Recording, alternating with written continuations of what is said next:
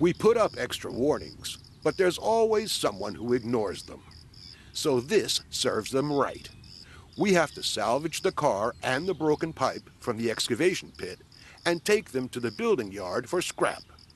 There you can also get a new pipe for the gas line, and then we'll waste no time installing it.